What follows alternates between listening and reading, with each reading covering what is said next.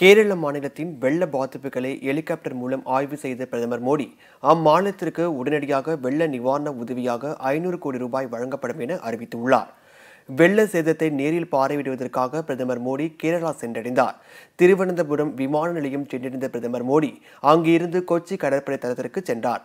முதலமைச்சர் பினராயி விஜயுடன் வெள்ளத்தால் மிக மோசமாக பாதிக்கப்பட்ட பகுதிகளை மோடி ஹெலிகாப்டரில் சென்று பார்வையிட்ட திட்டமிட்டிருந்த நிலையில் கனமழை பெய்து கொண்டிருந்த காரணமாக அதில் தாமதம் ஏற்பட்டது. இதனைத் தொடர்ந்து கொச்சியில் முதலமைச்சர் பினராயி விஜயன் மத்திய அமைச்சர் கே. ஜே. அல்போன்ஸ் மற்றும் மாநில அரசின் உயர் அதிகாரிகளுடன் பிரதமர் மோடி ஆலோசனை நடத்தினார். மீட்பு பணிகள் மற்றும் நிவாரணப் பணிகளை தீவிரப்படுத்துவது குறித்து இந்த கூட்டத்தில் விரிவாக ஆலோசனை நடத்திய பிரதமர் உடனடியாக வெள்ள நிவாரண உதவியாக ஐநூறு கோடி ரூபாய் வழங்கப்படும் என அறிவித்தார். இந்த தொகை வெள்ளத்தால் மிக மோசமாக பாதிக்கப்பட்ட பகுதிகளை சீரமைக்கவும் உதவிகளை வழங்கவும் பயன்படுத்தப்படும் என தெரிவிக்கப்பட்டுள்ளது. இதனிடையே வெள்ளத்தால் பாதிக்கப்பட்ட பகுதிகளை பிரதமர் மோடி ஹெலிகாப்டர் மூலம் பார்வையிட்டு ஆய்வு செய்தார்.